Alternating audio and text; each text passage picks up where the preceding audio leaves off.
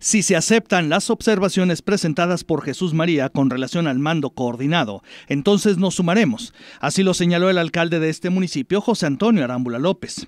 Apuntó que la principal observación era que se respetara el nombramiento de la titular de Seguridad Pública por parte del propio alcalde.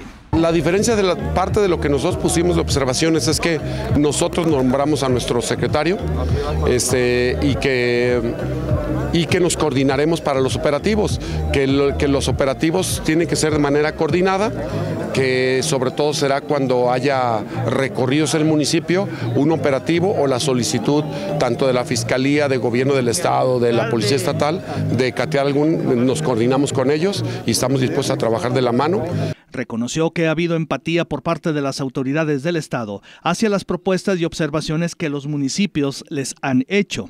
Señaló que Jesús María queda con el control administrativo y operativo de la corporación.